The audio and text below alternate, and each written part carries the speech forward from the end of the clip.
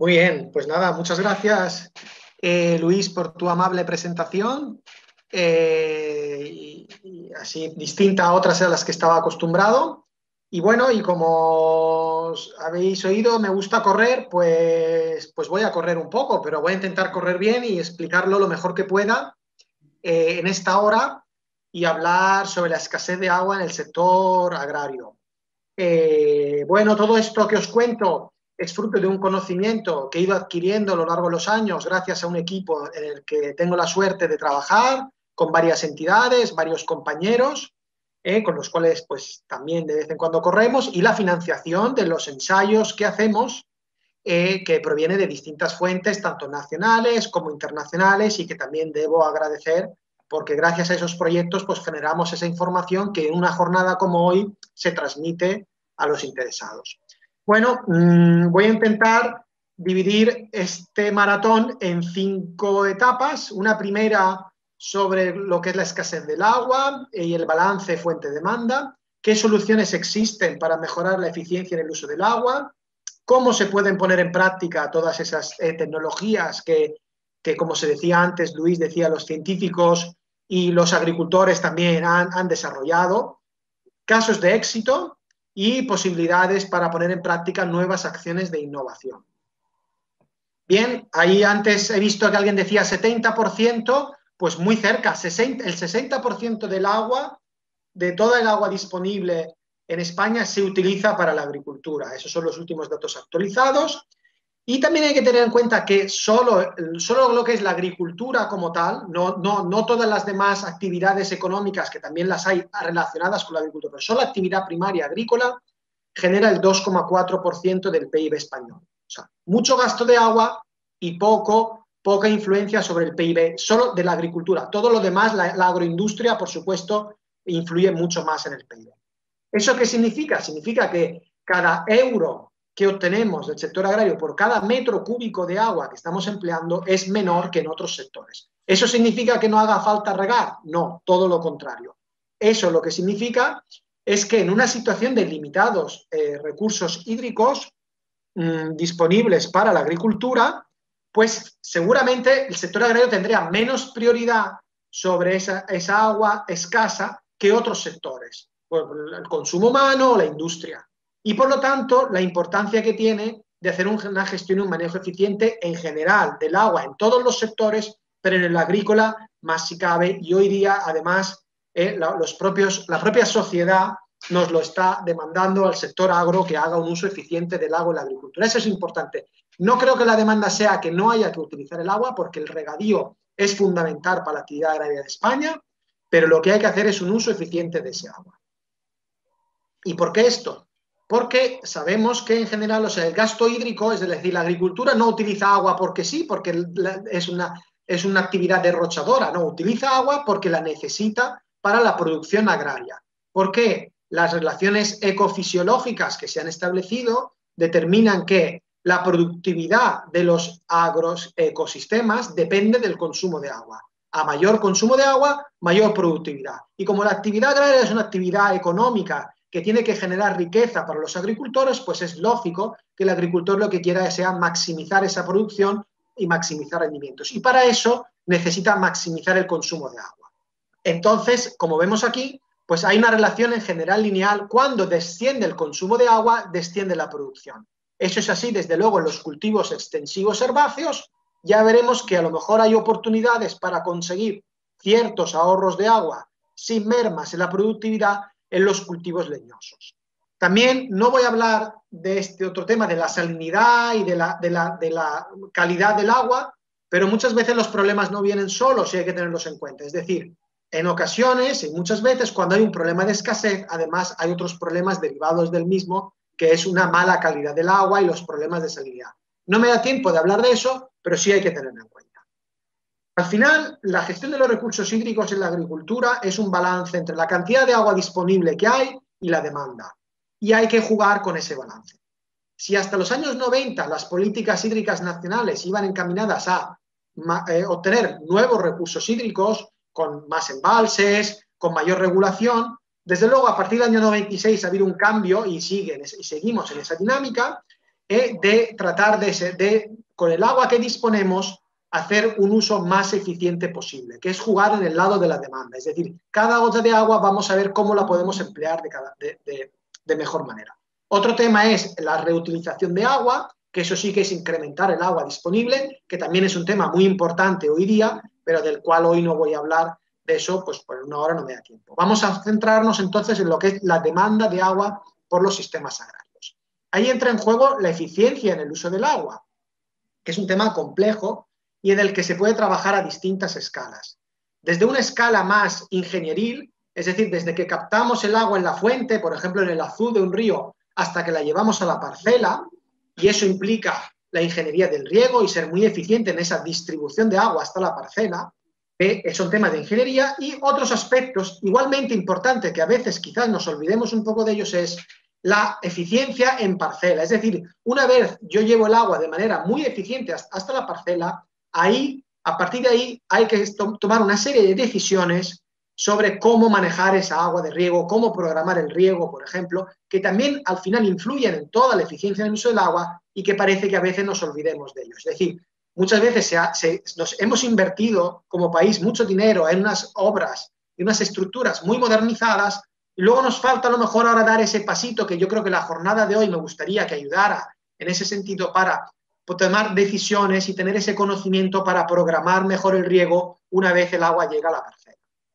El problema es que esto es difícil, y es difícil primero porque saber, por ejemplo, la utilización, el gasto hídrico de los cultivos no es fácil, pero porque además estamos eh, eh, con una práctica agraria que tiene sus peculiaridades. Una de ellas es, por ejemplo, el uso de redes colectivas y las comunidades regantes, que a veces establecen, o debido a eso, pues hay una serie de limitantes en lo que es la libertad eh, por ejemplo, de programar el riego, como es lógico y normal, pero lo digo porque hay que tenerlo en cuenta. La tecnología del riego es muy distinta, no es lo mismo el riego por goteo que el riego por superficie, todo eso añade complejidad. Los cultivos son muy distintos en cuanto a su gasto hídrico, hay cultivos eh, continuos, como puede ser alfalfa, maíz, frente a otros continuos que llamamos discontinuos, como los huertos frutales, donde buena parte del suelo está libre de vegetación, y todo eso supone un manejo. luego hay otros condicionantes socioeconómicos y estructurales que también influyen en la toma de decisión y a veces mucho, y también hay que, eh, de alguna manera, tener en cuenta y veremos al final un poco por los temas de gobernanza.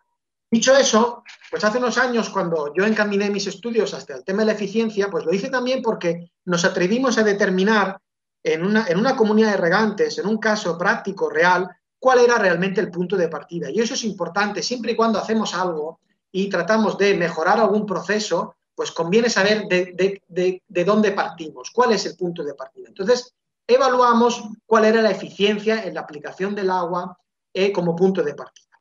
Lo que vimos es que en el conjunto de una comunidad de regantes, la eficiencia en la aplicación del agua era alta, era casi del 95%. Eso lo estimamos eh, determinando las necesidades de riego frente al riego aportado. Pero el problema es que los árboles lo que son las unidades de consumo, no responden a la eficiencia de aplicación en el conjunto de, la comunidad de regantes, sino lo que responden es al agua que realmente yo le estoy aplicando frente a lo que necesitan en cada una de las parcelas. Para eso nos fuimos a medir la eficiencia real en cada una de las parcelas que conforman la comunidad de regantes. Todo eso hoy es posible gracias a las técnicas de teledetección y vimos que entre parcelas había grandes variaciones en ese índice de eficiencia con muchas parcelas que estaban sobre regadas y muchas otras parcelas que estaban regadas deficitariamente sin que a lo mejor los agricultores lo supieran bien. De ahí pues que dijimos, no, pues entonces hay que estudiar, hay que ver qué podemos hacer para reducir ese gap ¿eh? el existente entre la eficiencia teórica y la eficiencia real. Y de ahí un poco el siguiente, la siguiente etapa, en la siguiente vuelta de este maratón que vamos dando, sobre las soluciones tecnológicas para mejorar la eficiencia en el uso del agua y obtener ahorros hídricos. En definitiva, lo que queremos es programar de manera científica o científico-técnica el riego y dar respuesta fundamentalmente a tres preguntas. ¿Cuánta agua aplicar? ¿Cuándo aplicarla? ¿Y cómo aplicarla? Para dar una respuesta a todo esto necesitaría quizás de un ultramaratón, que hoy no tengo tiempo, entonces, vamos a dar respuesta hoy solamente a, las más importantes, quizás. ¿Cuánto y cuándo aplicarla?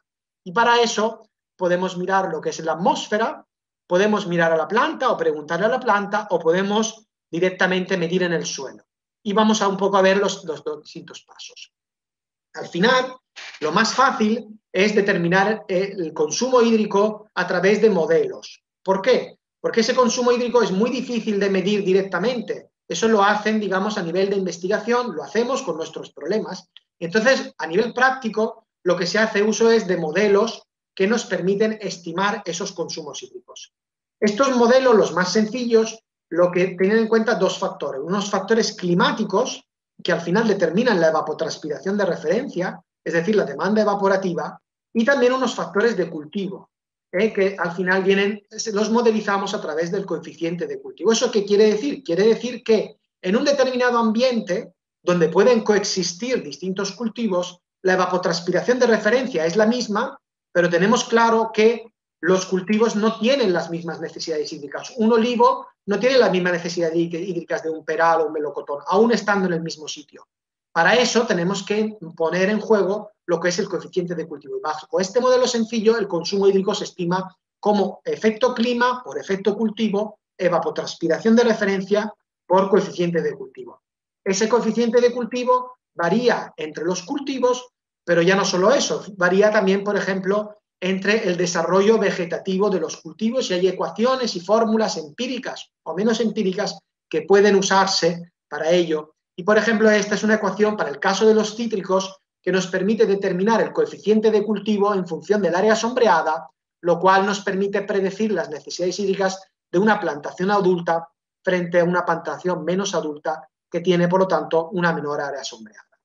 Ahí, pues, las investigaciones y los últimos avances vienen derivados del uso de las técnicas de teledetección, que nos permiten en grandes áreas regables, en una comunidad de regantes, por ejemplo, pues determinar ese ground cover, ese grado de cobertura vegetal que nos permita estimar mejor las necesidades hídricas. Puede ser en la cobertura vegetal o, unos otros índices como es el caso del NDVI y la bibliografía. Existen luego relaciones entre estos parámetros vegetativos de la plantación y el coeficiente de cultivo. De ahí que pues cada vez se usen más eh, uso de satélites. Eh, desgraciadamente, por ejemplo, el satélite que se perdió hace un par de días, uno de sus objetivos era poder determinar, por ejemplo, ese grado de cobertura con mucha resolución espacial, mayor de la que teníamos ahora. Vamos a tener que esperar porque lo acabaremos lanzando de nuevo, seguro, pero pues ese era uno de los objetivos que tenía ese satélite también, poder tener imágenes más bonitas con mayor resolución espacial de las que estamos viendo ahora para medir el grado de cobertura vegetal. La teledetección es una herramienta fundamental, pero no lo va a resolver todo. Hay que saber a veces también los límites de las distintas técnicas. Hay que tener cuidado con la resolución espacial y temporal. E, ese satélite que se iba a poner en marcha y que se pondrá en marcha en otro momento iba a tener una buena resolución temporal, es decir, un, paso, un repaso por las distintas zonas amplio. A veces la calidad de las imágenes puede no ser buena porque pueden haber nubes, y eh, otros aspectos más específicos que no tengo tiempo de entrar. Pero bueno, la, la permite avanzar en la gestión del riego. Existen además toda esta información que yo he tratado de resumir en poco tiempo, pues los agricultores no tienen por qué saberla, porque hay sistemas de toma de decisión eh, que nos permiten pues, manejar esa información de forma fácil y al final tomar decisiones. El propio Ministerio de Agricultura, a través del sistema de información agrario, en una página web y algunas aplicaciones, lo que permite es eh, eh, tomar, ayudar a los, agricultores a tomar estas decisiones a través de del uso de las nuevas tecnologías. Ahí tenéis la web donde podéis de manera gratuita descargar, pues, por ejemplo, estas aplicaciones para programar el riego. Pero evidentemente, si solo con saber la evapotranspiración de referencia y el coeficiente de cultivo pues ya hubiéramos tenido el problema resuelto, el problema de aplicar el riego resuelto, pues entonces ya habríamos acabado la charla. Pero como nos gusta correr, pues nos quedan kilómetros por hacer. ¿Por qué? Porque el modelo de la ETO, el coeficiente de cultivo, es un modelo que nos permite avanzar, pero tiene sus incertidumbres. No nos permite diferenciar bien entre cultivos. De ahí que necesitemos, por ejemplo, preguntarle también al suelo para programar el riego. ¿Cuál es la gran ventaja de medir la humedad en el suelo? Que es un poco lo que hacían los agricultores antaño, para saber si, se estaba, si tenían que regar más o menos, o para saber, era un poco, pues, por ejemplo, escarbar y ver un poco la humedad en el suelo. Eso hoy día las tecnologías nos permiten hacer eso mediante sensores que instalados en el suelo nos permiten medir en continuo la evolución del contenido de agua en el suelo. Y fácilmente un agricultor, un regante, eh, puede ver, por ejemplo, si el contenido de humedad se, mantiene estable, como puede ser esta línea azul, o si hay una tendencia a la baja en ese contenido de humedad y, por lo tanto, actuar para, digamos, corregir ese posible defecto del riego. Pero además, todo esto es la utilización de los sensores, también nos permiten no solo dosificar mejor el riego, sino también establecer unas mejores pautas de con qué frecuencia tengo que aplicar el riego. Porque estudiando, como ahora veremos, cómo evoluciona la humedad en el suelo a distintas profundidades, puedo no solo corregir la cantidad total de riego, sino puedo también, por ejemplo, mejorar lo que es la frecuencia en la aplicación de los riegos, si tengo que hacer un riego a la semana, dos riegos a la semana o siete riegos a la semana para una misma cantidad total que vamos a aplicar. En este sentido, las sondas de humedad son muy útiles, los sensores, y son empleadas, pero como veréis, a mí me gusta siempre, pues no, en la vida a veces los milagros son complicados y no todo es perfecto. Y tienen su limitación y hay que tener en cuenta. ¿Cuál es la limitación fundamental de estos instrumentos que ahora veremos que se pueden aplicar y que se aplican? Pues que la variabilidad que existe eh, en una determinada parcela. Porque si yo tengo un solo instrumento, un solo sensor, es lógico porque a veces estos instrumentos son caros, y solo lo, instalo en un determinado punto de la parcela, pues hay que tener en cuenta que estoy midiendo un único árbol de toda la parcela y no solo eso, sino un único punto de la rizosfera y existe variabilidad y hay que tenerlo en cuenta. Entonces, si voy a tomar decisiones basadas en un único punto, las puedo tomar, pero cuidado, voy a seguir teniendo que ir al campo y ver cómo evoluciona el resto de la finca frente a ese riego que estoy aplicando. En cuanto a la tecnología, hoy día hay multitud de sensores, es un, es un ámbito que ha avanzado mucho. Los sensores que más se emplean son los sensores FDR o capacitivos, ¿eh? como veis aquí, como estos tubos instalados en el suelo que nos permiten medir en continuo la humedad en el suelo. Algunos nos miden la humedad a una sola profundidad y otros, con un solo sensor, lo podemos medir a distintas profundidades al mismo tiempo, como veis representado en esta figura. La gran ventaja es que muchos de los nuevos equipos nos permiten eh, recoger los datos vía remota, a través de Internet o a través de modem, y por lo tanto desde casa, eh, sin necesidad de correr e ir al campo, pues podemos eh, también evaluar lo que está pasando con el riego y lo que está pasando con el contenido de humedad en el suelo.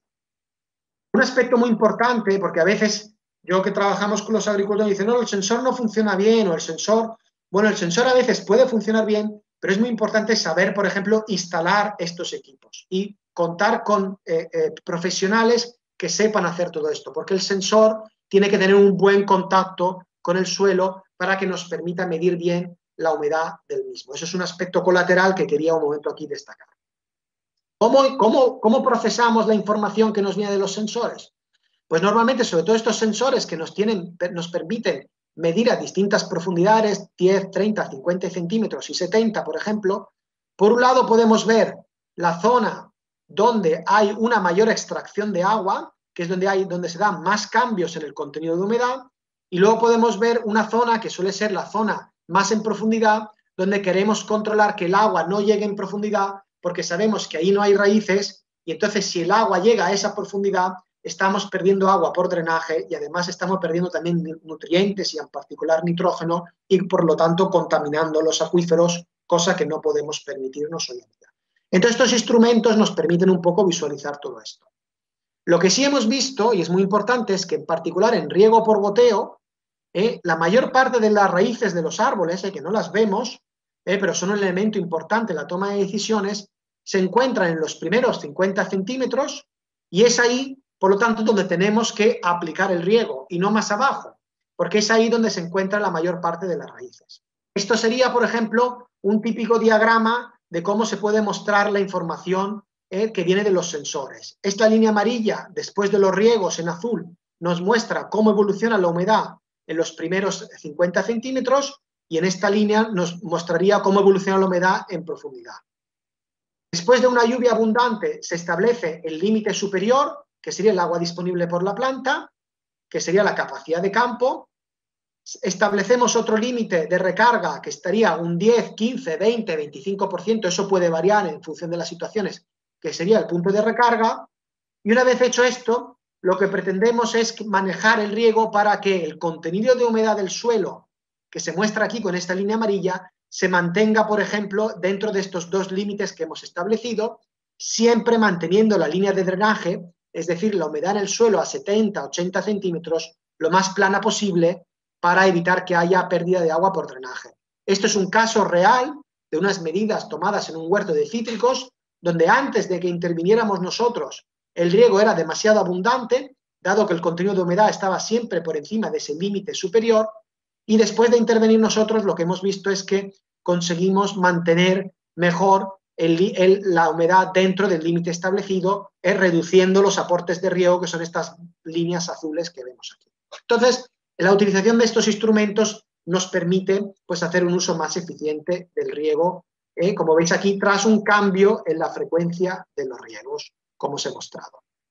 Bueno, seguimos. Eh, seguimos porque podemos dar pasos adelante. Es decir, cuando yo no me encuentro demasiado bien, ¿eh? pues normalmente el médico no me pregunta si mi padre o mi madre tienen algún problema o si, eh, sino que me van a hacerme algunos análisis directamente sobre mí. Si se sospecha, por ejemplo, desgraciadamente vivimos en tiempos de COVID, si se sospecha que puedo tener el COVID, pues eh, se hace un test, se toma una muestra, hacemos un test PCR y se detecta si tengo COVID o no tengo COVID. Entonces, si yo estoy regando estoy regando para mantener a la planta en el mejor estado hídrico posible.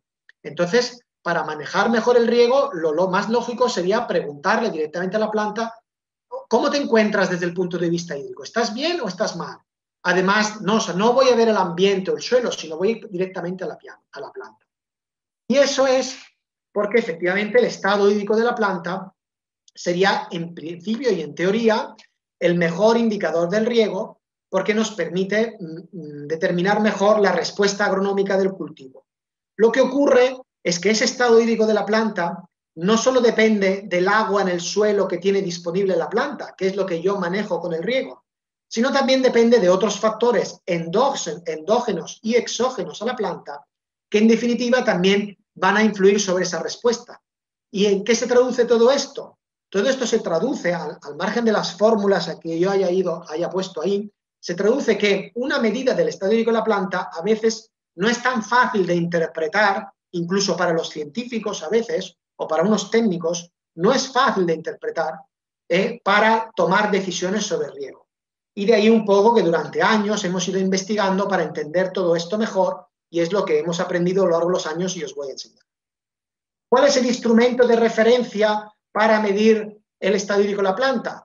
Es decir, el PCR del COVID que se utiliza hoy día para saber si tenemos COVID o no, cuál es lo, equivalente para saber si la planta está bien o no eh, desde el punto de vista hídrico, pues es la cámara de, de presión, como os muestro aquí. Se trata de un instrumento en el que yo pongo la hoja dentro de una cámara, aplico presión, la hoja después de haberla cortado del, árbol o, del, o, del, vegetal, y la presión que tengo que introducir para que salga una gota de agua desde el peciolo es equivalente a la presión con la que estaba retenida o la fuerza con la que estaba retenida el agua en la planta. Aquí veis una imagen real, esto es un caso eh, de una cooperativa de nísperos que la emplea para la programación del riego, eh, utiliza este instrumento para determinar eh, el potencial hídrico. se ha establecido que el mejor, la mejor manera es primero, antes de hacer esas determinaciones, es embolsar las hojas ¿eh? y una, media hora antes de hacer la determinación y después cortarlas y llevarlas a la cámara de presión para hacer esas determinaciones. Pero como todo eso es un poco tedioso y requiere de mano de obra, requiere de alguien que vaya, embolse la hoja, la corte, la ponga dentro de la cámara de presión, pues también la tecnología ha ido avanzando y ha buscado alternativas a todo esto. Eh, y estas alternativas pues, serían, por ejemplo, los test de detección más rápidos frente al PCR, que sabéis que nos tienen que introducir algo en la nariz, todo eso tiene que ir a un laboratorio. Bueno, pues lo mismo que se hace para el COVID, pues se ha hecho para el tema del estado hídrico de la planta y se han buscado otras tecnologías, otros sensores que nos permitan eh, medir el estado hídrico de la planta y hay multitud de ellos eh, posibles, más o menos complejos. Me voy a centrar sobre todo en lo que es la termografía, la utilización de la temperatura, entre otras cosas, porque creo que hoy día, desgraciadamente, de nuevo, gracias al COVID, todos sabemos lo que es la termografía. Al final es el mismo instrumento que teóricamente se gasta en los aeropuertos o para dar acceso a algunos, eh, algunos recintos deportivos. Eh, por ejemplo, para entrar al baloncesto, cuando yo iba a ver los partidos, últimamente había un sensor que me detectaba la temperatura y en función de eso, pues supuestamente podía entrar o no podía entrar. Pues aquí lo mismo. Esas mismas cámaras termográficas se pueden utilizar para medir la temperatura de las hojas como un indicador del estrés que tienen las hojas. ¿Y eso por qué? Eso es porque la planta, que no se mueve, ¿eh? está sometida a una gran cantidad de energía que le llega desde el sol y sin embargo no se cuece, es decir, no está excesivamente caliente. Entonces tiene que disipar esa energía que le llega desde el sol. ¿Y cómo la disipa? La disipa transpirando. En ese proceso de transpiración, es decir, de perder agua, es un proceso que consume de energía y le permite a la planta, además luego de absorber nutrientes y canalizar el transporte de nutrientes del suelo, pero sobre todo a nivel ecológico, las plantas transpiran para poder termorregularse, para mantener su temperatura. Igual que nosotros tenemos nuestros eh, vasos sanguíneos y nuestro sistema de termorregulación, pues la transpiración es el sistema que utilizan las plantas a nivel ecológico para digamos, regular su temperatura y mantener su temperatura en un, rango óptimo de funcionamiento. Y lo hacen a partir de esos estomas, que son unos agujeritos que no vemos, muy pequeñitos, que están en, en las hojas, que le permiten transpirar. Cuando la planta sufre un déficit de agua en el suelo, es decir, empieza a notar que tiene escasez de agua en el suelo, como no se puede mover, porque está anclada, tiene otros mecanismos para responder a ese déficit de agua en el suelo. Y ese mecanismo es, además de limitar su crecimiento vegetativo, también cerrar esos estomas para reducir la transpiración. Y la derivada de todo esto, que es a donde quiero llegar, es que eso, nos permite, eso provoca un calentamiento de la hoja y es lo que podemos medir con las cámaras termográficas. La gran ventaja de las cámaras termográficas es que hoy día se pueden emplear fácilmente para instalarse en medios eh, para la teledetección. Es decir, esas cámaras termográficas más o menos pequeñas o más o menos complejas, las podemos equipar a bordo de drones o de satélites para medir la temperatura del dosel vegetal de forma remota y, por lo tanto, para medir el estrés hídrico de forma remota, pero la gran ventaja es que nos permite medir en grandes áreas regables de una manera al mismo tiempo. Esto es una foto tomada de unos ensayos que hemos realizado con otros compañeros del CSIC de Córdoba, eh, esta avioneta volaba sobre esta zona y eh, al mismo tiempo que volaba tomaba la temperatura de todos estos árboles y nos permite eh, saber cuál es el grado de estrés que tienen las distintas parcelas de esta. esta era una gran finca, esta era una zona regable de un productor de la zona de Murcia que tiene unas 100 hectáreas aquí y con este vuelo pues puede saber en un momento dado cuál es el estado hídrico de todas esas parcelas y por lo tanto corregir el riego que pueda estar aplicando. Eso lo veis aquí. Esto es una parcela de Murcia, eh, donde hicimos este estudio en una variedad de melocotón, amandine. Esta es una parcela de un hectárea y medio que se ve aquí. Y este es el producto obtenido de la, eh, del, vuelo que hicimos. Esto, estas manchas que veis serían zonas que tienen un estado hídrico mejor o peor derivado eh, obtenido mediante teledetección. Y a partir de ahí, pues eh, este, este mapa se lo pasamos al productor y el productor pues, puede ver, por ejemplo, estas zonas azules son las zonas que tienen un mejor estado hídrico frente a estas zonas rojas y corregir todo eso. Y nosotros hemos demostrado a nivel científico que hay una buena relación entre lo que aquí llamo Crop Water Stress Index, es decir, el estrés hídrico medido a partir de la temperatura, y el potencial hídrico medido por la cámara de presión. Veis que hay una relación, eh, bueno, estos son datos de muchos años y muchas variedades, pero hay una relación bastante buena entre estos dos indicadores, lo que nos da fiabilidad que efectivamente podemos utilizar el Crop Water Stress Index derivado de la teledetección como un indicador de estrés. Bueno, me habitué un momento y seguimos. Seguimos porque todo esto, a lo que hemos llegado es que gracias a la, a la utilización de estas técnicas, es posible hoy día hacer un, riego de precisión. Y por lo tanto, en no, no derrochar agua en parcela y no hacer, por ejemplo, que percole mucha agua por profundidad porque estamos aplicando a la, parcela el agua que necesita. Pero una cosa es la eficiencia en el uso del agua en parcela y otra cosa son los ahorros hídricos netos que obtenemos. ¿Y eso por qué? Voy a intentar explicarlo, aunque es un poco difícil de entender quizás. Porque eh, el nivel de parcela, el agua que podemos perder por ineficiencia, por escorrentía, por ejemplo, o porque percola, es verdad que, se pierde en parcela, pero vuelve al acuífero. ¿eh? Y por lo tanto puede ser de nuevo bombeada para el riego. Es decir, el agua no se está perdiendo, sino que vuelve a su sistema inicial. Es verdad que vuelve ¿eh? con, una calidad peor, porque ha arrastrado nutrientes y, y, es verdad también que para luego volver a bombearla, por ejemplo, del acuífero, pues necesitamos energía y por lo tanto es un derroche. Y desde luego hay que hacer un, un uso eficiente del agua. Pero en términos globales, si hacemos un análisis no solo en parcelas, sino a nivel de una cuenca, pues un riego de precisión y un riego eficiente no nos permite obtener ahorros netos, que es también importante en situación de escasez. En una situación de escasez, lo importante, además de ser eficiente, que eso damos por hecho, hay que también buscar y calentarnos la cabeza para ahorrar agua, es decir, para hacer que los cultivos sean capaces de producir lo mismo, pero con un uso consultivo de agua menor. Porque recuerdo que la agricultura consume hasta un 70% del agua. Por lo tanto, si conseguimos, aunque sean pequeños ahorros en el sector agrario, serán pequeños en, nuestro sector, pero en, el conjunto de los recursos hídricos de un país puede suponer mucho. Y de ahí que vayamos a estudiar esto. ¿Esto es posible?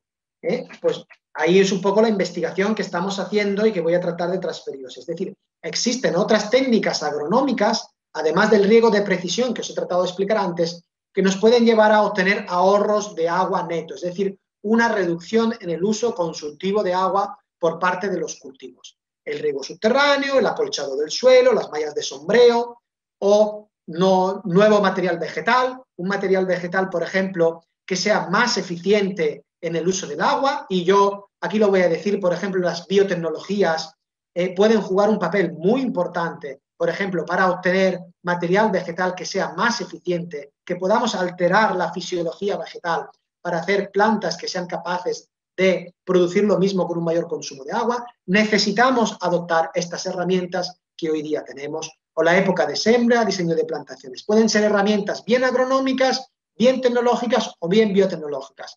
Desde mi punto de vista, el cóctel y la utilización de todas ellas es las que nos permitirá o nos puede permitir ¿eh? hacer frente a ese desafío que tenemos, que es una escasez de agua. Una de estas técnicas, porque no puedo hablar de todas ellas ahora, es el riego deficitario controlado que os quiero explicar. Es decir, de su, en el acrónimo en inglés sería Regulated Deficit Irrigation. ¿En qué se basa este riego deficitario controlado? Se basa en un riego que es inferior a las necesidades hídricas potenciales del cultivo, es decir, le estamos dando menos agua de la que el cultivo necesita, de hilo de déficit, pero lo queremos hacer de una manera controlada. Controlada en dos sentidos.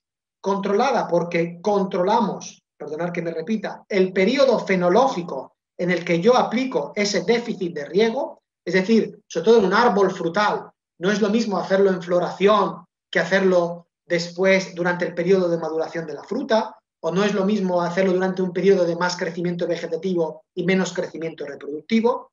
Y otro aspecto muy importante, hay que controlar el nivel de estrés que yo impongo al cultivo, porque no es lo mismo poco estrés que mucho estrés. No es lo mismo correr un medio maratón que correr un maratón. Los que corremos maratones sabemos, nos enfrentamos a ese famoso muro de los 30 kilómetros. Es decir, la respuesta es muy distinta. El estrés al que, la respuesta del cultivo a esos kilómetros que yo hago, la respuesta de una persona a los kilómetros que corre es muy distinta. Entonces, no es lo mismo un estrés moderado o un estrés severo. Y para saber qué nivel de estrés tiene el cultivo, necesitamos medirlo en la planta a través de alguna de las herramientas que os he enseñado.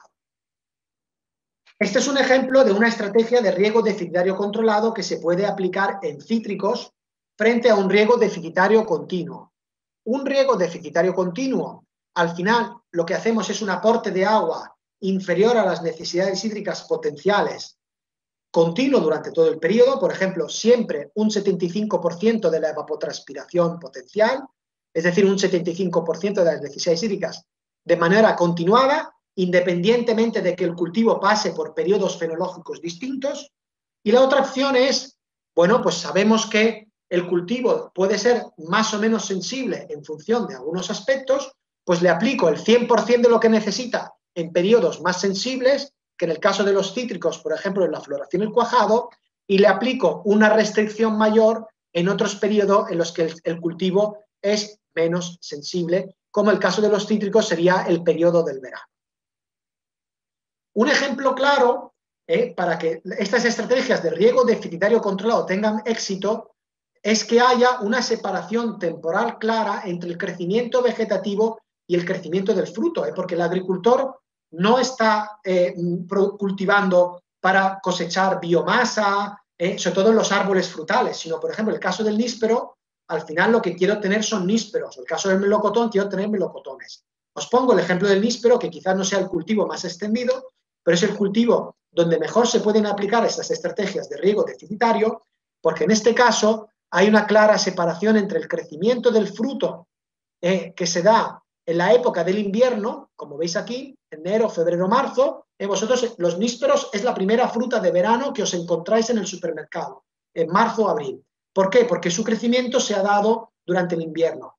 Y luego, durante el periodo del verano, sin embargo, hay un crecimiento vegetativo. Por lo tanto, es un cultivo muy adecuado para obtener ese milagro eh, que os comentaba antes de aplicar menos agua de la que necesitaba el cultivo y al final ver si podemos obtener la misma producción y por lo tanto ahorrar agua. No tengo tiempo y voy a utilizar esta, esta presentación donde os voy a resumir los resultados de distintas investigaciones que en nuestro grupo de investigación hemos realizado durante eh, mucho tiempo. Estoy controlando también un poco el tiempo. Y esto es eh, eh, agua aplicada en metros cúbicos por hectárea en distintos cultivos leñosos cítricos clementina, cítricos naranja, caqui, granado, níspero y viñedo y viña, eh, en dos, digamos, dos estrategias.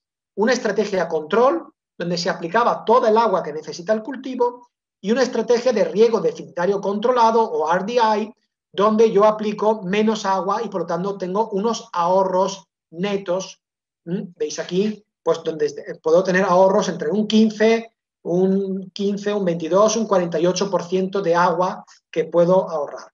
Esto no se hizo en ensayos de experimentación como tal, sino esto lo hemos hecho en plantaciones comerciales con agricultores productores que han participado de, estos, de estas demostraciones y además estos son resultados de varios años de investigación, no solo un año, sino tres o cuatro años. Donde, perfecto, os estoy demostrando en esta gráfica que es posible ahorrar agua hasta un 48% de agua. Pues no lo he acabado de demostrar porque no solo se trata de ahorrar agua, sino se trata también de ver cuál es el efecto de ese ahorro de agua sobre la respuesta agronómica del cultivo. Y eso es lo que nosotros como agrónomos eh, siempre hacemos y de ahí un poco que nos diferenciamos a lo mejor más de unas aproximaciones más fisiológicas, siempre tratamos de llegar al final de la cuestión, es decir, ¿cuál es la eficiencia en el uso del agua? pues ya veis que como con esas estrategias de riego deficitario controlado, eh, es posible incrementar eh, la eficiencia en el uso del agua como producción frente a riego, es decir, eh, incrementos en kilos obtenidos por cada metro cúbico de agua de riego entre un 19 y un 30%. Muy bien, esto a un fisiólogo, a un, nos le gusta mucho porque es un índice de eficiencia, es decir, con el riego deficitario controlado, yo soy capaz de obtener más kilos por cada metro cúbico. Pero un agricultor no está interesado en este índice.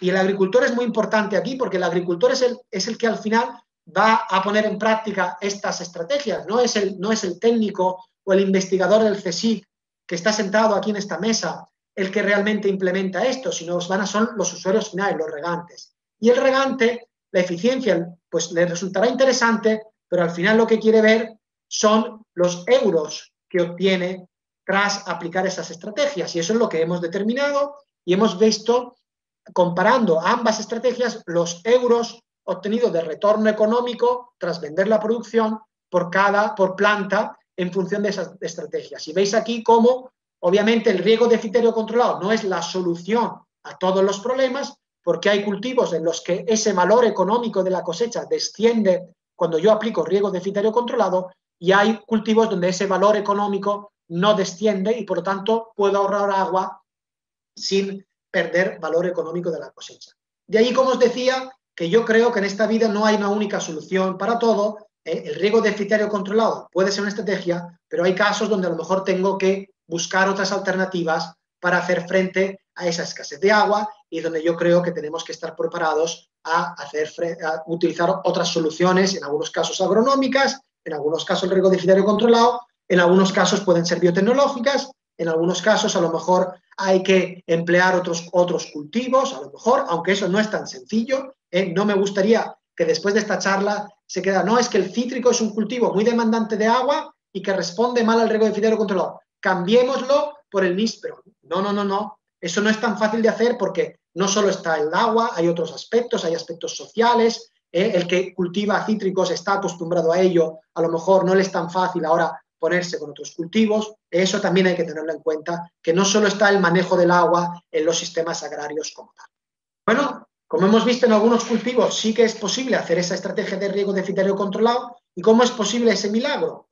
Pues es posible porque, por ejemplo, esto veis el aspecto que tiene un ciruelo, ciruelo japonés tras la aplicación de un riego óptimo durante cuatro años, veis toda esta vegetación que tiene aquí, que los que sois productores de frutales, sabéis que al final estos son chupones eh, y, materia seca, son shoot sprouts, eh, ayudo a los traductores, eh, que nos permiten, que no, que no son, no es cosecha, frente a este otro árbol que ha sido manejado con riego deficitario controlado, que no tiene ese crecimiento vegetativo innecesario y por lo tanto, digamos, agronómicamente es más interesante pues manejar este, árbol frente a este otro árbol si aplicamos de manera correcta el riego deficitario controlado. Hay otra derivada muy importante del riego deficitario controlado que es la calidad de los productos que nosotros producimos. Y eso es muy importante para la agricultura española y en general para la agricultura mediterránea europea. Es decir, tenemos que tenemos, creo que tenemos que enfocar también nuestras producciones hacia obtener una producción rentable, pero una producción de una calidad organoléptica cada vez mayor para diferenciarnos de otras zonas productoras que a lo mejor tienen costes de producción más económicos que los nuestros, pero que no utilizan las tecnologías que nosotros podemos y debemos emplear para mejorar la calidad de esas producciones. Un índice de esa calidad es el grado, los sólidos solubles totales, es decir, los grados BRICS, y aquí veis cómo en casi todos los cultivos donde, los que, donde hemos investigado, que el grado BRICS que obtenemos de frutos que han sido regados de forma deficitaria es mayor frente a otros frutos que vienen de estrategias control. Es decir, el riego deficitario control es una herramienta para ahorrar agua, para mantener el retorno económico en algunos cultivos, pero además para obtener frutos que tienen una calidad organoléptica mayor. Y eso es importante y cada vez lo es más. Esta foto la tomé en Estados Unidos, en un, supermercado, donde ahí a los consumidores le muestra el grado BRICS de la fruta como un indicador de la calidad que tiene. Bueno, pues si yo sé que con riego deficitario he conseguido una fruta con un mayor grado BRICS, será una fruta que para el consumidor sea más atractiva. E incluso yo he visto en, mercado, en, supermercados del norte de Europa, donde se está empezando hablar de índices de eficiencia para mostrarle al consumidor que esa fruta que yo he producido ha sido producida de una manera más eficiente. Y desde luego, por ejemplo, la técnica de riego deficitario controlado sería una manera más eficiente de producir esa fruta. Bueno, sigo adelante y para hablar de otras técnicas de cultivo, de ahora de manera un poco más rápida, que además pueden emplearse, además del riego deficitario, para ahorrar agua. Esas pueden ser derivadas, por ejemplo, del manejo del suelo mediante acolchado inorgánico o un acolchado orgánico que me permite reducir la evaporación de agua en el suelo, el riego subterráneo o, por ejemplo, la utilización de mallas de sombreo. Cualquiera que vaya, por ejemplo, para la zona productora de Jumilla, de Murcia, eh, con producciones muy intensivas, donde se está haciendo un uso muy eficiente del agua, veréis que hay muchas mallas de sombreo eh, para reducir la radiación que llega a los árboles y reducir eh, el consumo de agua de las producciones. Otras investigaciones que estamos haciendo, muy brevemente, por ejemplo, es el cultivo hidropónico. Cultivo hidropónico muy extendido en, los invernaderos del sureste o los invernaderos de Huelva para los cultivos herbáceos o la fresa, pues nosotros hemos querido adaptar esta tecnología eh, a los cultivos de árboles frutales. Sí, hidroponía en árboles frutales como última estrategia de riego. Desde, desde la IT me pidieron que no solo hablara de cosas que ya están en el mercado, sino también de cosas, de, digamos, las últimas novedades en investigación, pues esta sería una de ellas. La adaptación de la hidroponía al cultivo de los árboles leñosos, mediante la instalación de unos sacos de sustratos agujereados en su superficie, hemos visto que las raíces de los árboles van a buscar ese medio más favorable y hemos visto donde en los primeros años de vida de una plantación de caqui, que veis aquí, frente a un árbol control donde no se utilizaba la hidroponía, frente a la utilización de sacos de sustrato bien instalados en superficie o bien enterrados, que no los veis, pues se puede incrementar la producción de los árboles, en particular en los primeros años de vida de la plantación, y aumentar, aquí es el canopy volume, es decir, el volumen de la copa de los árboles se incrementa frente al control. Es decir, bueno, pues yo, pues que soy un científico, pues obviamente creo en la ciencia, pues las investigaciones nos pueden permitir eh, para mejorar eh, esa producción y esa eficiencia en el uso del agua. Otro sistema, por ejemplo, que hemos investigado es el riego subterráneo, eh, que es una tecnología cada vez más utilizada y hay empresas españolas que están a la vanguardia en estos sistemas de riego, donde hemos visto que mediante el riego subterráneo, por ejemplo, se puede aplicar la misma cantidad de agua que con un riego por goteo convencional, pero como estamos evitando la evaporación, eh, porque estamos evitando que el agua flore en superficie y por lo tanto se evapore, pues conseguimos que cada gota de agua que damos mediante riego por subterráneo, la planta la aproveche mejor. Y aquí veis, por ejemplo, que para la misma cantidad de agua aplicada podemos tener una mayor eficiencia en su uso, ¿eh? porque se, obtienen más kilos ¿eh? con el riego subterráneo. De nuevo, otra tecnología que puede ser empleada para hacer frente a esos problemas de escasez y, en todo caso, para hacer un uso más eficiente del agua. Otro pasito más que estamos dando, y esto ya son cosas que hemos hecho incluso este verano, por lo tanto no las tengo aún del todo procesadas, es el riego de precisión. Es decir, ver de qué manera eh, em, eh, evaluar la variabilidad que existe en la parcela para, digamos, conocer esa variabilidad que puede haber en un viñedo y a cada zona del viñedo, en vez de aplicarle una dosis de agua concreta, estándar para todo el viñedo, sino adaptar esa dosis de agua a la variabilidad que existe en el viñedo. Es decir, con el paso del tiempo, yo creo que hoy día somos capaces de decir, esta parcela necesita tanto, y yo se lo aplico. Y lo normal es aplicárselo de manera uniforme. El siguiente paso, de todos modos, es, bueno, pero, existe una variabilidad en esa parcela. Es decir, hay zonas de parcela, por ejemplo, que tienen un ground cover, el GC que pone aquí, es decir, una cobertura vegetal mayor que otras, y por lo tanto el manejo del riego no puede ser el mismo en las distintas zonas de la parcela. Entonces, bueno, con una empresa murciana lo que hemos hecho es diseñado programas de riego, o sea, tecnologías del riego que adecúen el riego que aportamos en función de esa variabilidad que hemos determinado en la parcela. Esto lo hemos probado en el viñedo y ahora mismo, antes de hablar con vosotros, estaba recibiendo unos emails para probar algo parecido, por ejemplo, este invierno en el cultivo de la cebolla en el caso de Albacete, junto con los compañeros de la Universidad de Castilla-La Mancha, para en una determinada parcela aplicar más o menos riego en determinadas zonas, habiendo estudiado previamente la variación que existe en esa zona de la parcela. Ese es el riego de precisión. Bueno, seguimos adelante. ¿Cómo mejorar todo esto? Eh? ¿Cómo podemos ahora poner en práctica todas estas tecnologías? Eso es importante porque muchas veces mm, se habla de decir, bueno, existe mucha tecnología, existe mucha información, pero luego el regadío no la pone en marcha. ¿Y por qué?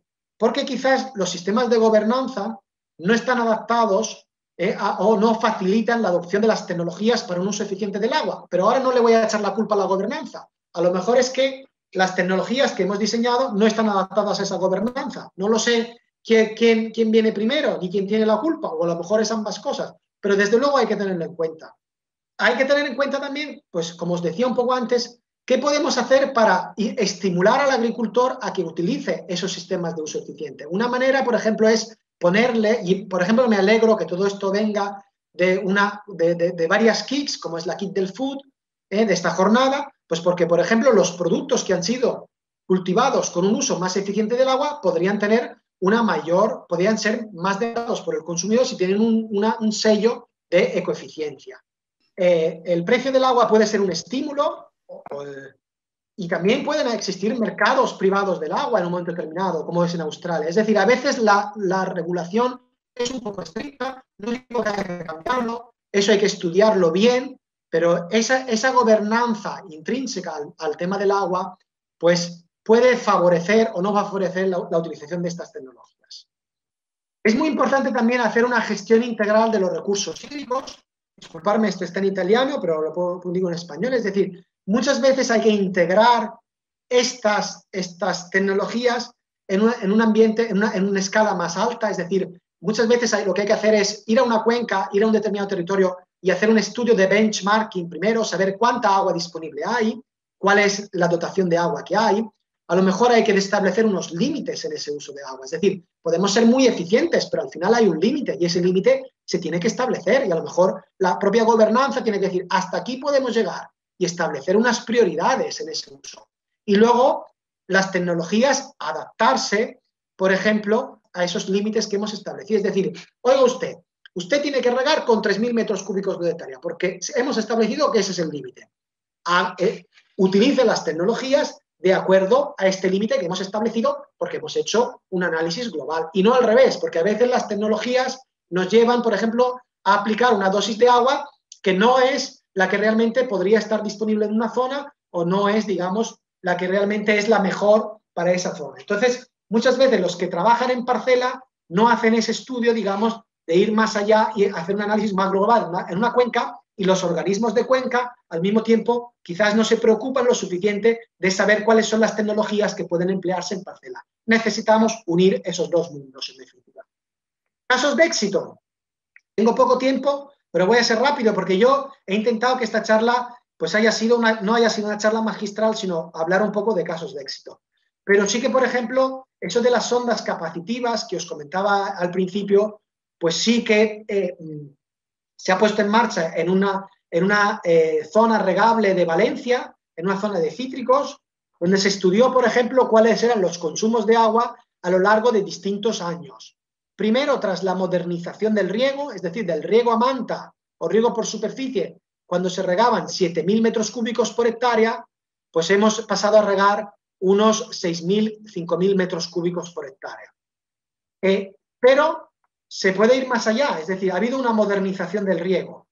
Hemos visto como a lo largo de los años hemos podido mejorar eh, la dotación de agua aplicando la información, por ejemplo, derivada del uso de las sondas. Con el riego por goteo, muchas veces los agricultores se creían que ya estaban haciendo un uso eficiente del riego y no es así. Aún con riego por goteo, en función de cómo lo maneje, puede hacer un uso más o menos eficiente. Y esto lo vemos aquí. Este es el, gráfico que habéis visto al principio donde veis cómo evoluciona la humedad en el suelo a distintas profundidades y veis cómo el agricultor, en este caso, mantenía el nivel de humedad siempre por encima de ese umbral máximo y como veis como además en profundidad siempre se estaba perdiendo agua por drenaje. Entonces, aplicamos el concepto de la utilización de las sondas y empezamos a mantener el nivel de humedad más cerca de lo que es el límite óptimo dentro de esta franja, como veis aquí, y también vimos cómo no se perdía agua por drenaje porque después de los riegos el agua no llegaba en, profundidad. Y esto derivó en que tras la utilización de las sondas de humedad conseguimos bajar el consumo de agua desde 5.000, 6.000 metros cúbicos por hectárea a en torno a 4.000, 3.800 metros cúbicos por hectárea. Es decir, veis el camino que hemos recorrido a lo largo de los años, aún con riego localizado, utilizando conocimiento y tecnología, podemos obtener un ahorro del 38%. Siempre vemos la producción, es decir, también estudiamos la producción y vimos como en esa, en esa comunidad, pues la producción, quitado el año de heladas, pues desde el año primero de partida, pues se mantuvo o incluso incrementó tras la utilización de esta estrategia de riego. Otro ejemplo de eh, caso de éxito, o no éxito, luego me lo diréis al final de la jornada, me gustaría que me dijerais vosotros si esto realmente es un éxito o no, y que no solo sea yo el que lo diga, es, por ejemplo, la utilización de la cámara de presión para el riego de los viñedos. Eh, con los umbrales de estado hídrico que hemos establecido, pues hemos ido a un viticultor y le hemos, hecho, hemos puesto en práctica todo este conocimiento.